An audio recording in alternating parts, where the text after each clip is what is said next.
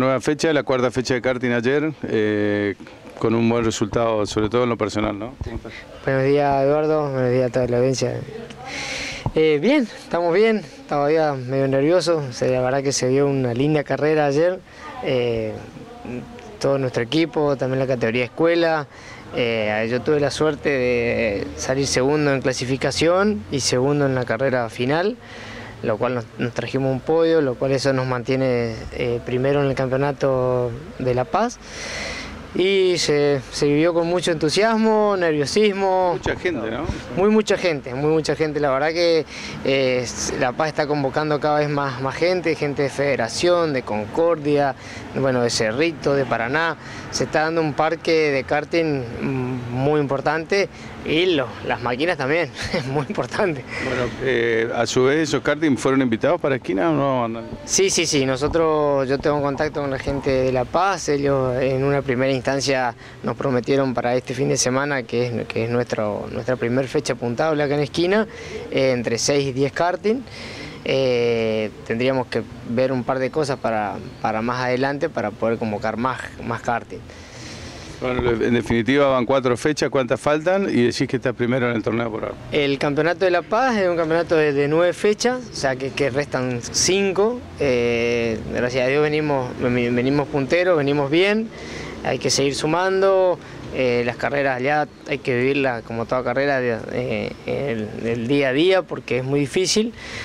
porque hay una competencia muy pareja, o sea, hay muchos karting andando muy fuertes todos, digamos, entonces requiere... Es, distinto el sistema allá, cuando ganás, pasás eh, la clasificación largada en, una posición no primero sino último. Claro, claro, ellos, tienen un sistema de, puntaje que es si vos terminás primero o segundo la carrera, la clasificación siguiente largás octavo o noveno.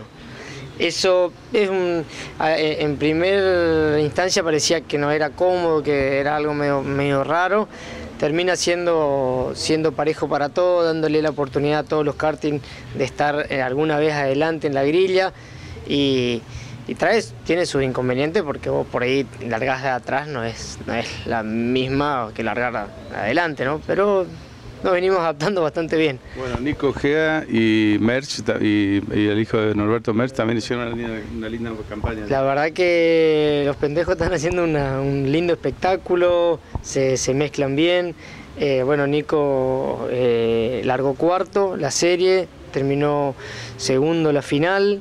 Eh, Merch largó tercero, terminó segundo en su, serie también y la, carrera final eh, Ojeda terminó primero, Niquito terminó primero y Ignacio terminó segundo. Un espectáculo impresionante porque son muchos karting también de la categoría escuela y se fueron pasando, fue, lindo. Fue... Bueno, ¿qué se viene para este domingo con lo acá para aquí? Eduardo, para este domingo largamos el karting zonal de acá de esquina, eh, va a ser la primera fecha puntable después de, bueno, cómo se terminó el año pasado y tratando de, poder largar nuestra primera carrera. La idea es buscar hacer un campeonato corto de, seis fechas, lo que queda de, julio a diciembre. Eh, se, trae una gente que hace la parte de cómputo, de fiscalización, o sea que cada karting va a tener un tiempo marcado por un sensor. Eh, eso nos va a dar una transparencia y un, orden de, salida, de grilla, de serie, tanto para la final. Y bueno, como siempre, mm, buscando el apoyo de, toda la gente, que vaya a ver el espectáculo. Y venimos todavía medio a los a los ponchazos, como quien dice, pero bueno, vamos a tratar de hacer el mejor espectáculo posible. Una, una comisión renovada, ¿no? Este eh, mira, Eduardo, no es, no es una comisión porque no está constituida eh, legítimamente, o sea, lo que, se, lo que se habló es, se hizo una asociación de grupo de pilotos en el cual eh, yo, Mauro Aranda, bueno, un montón de chicos tienen un papel protagónico, diríamos, yo estoy a cargo de un montón de cosas, Mauro también, el señor Barolín está a cargo de la pista, o sea, pero atrás de nuestro son todos pilotos los que están acompañándonos. La idea es poder arrancar, o sea, que la pelota gire y a ver con qué inconveniente nos encontramos. No es fácil.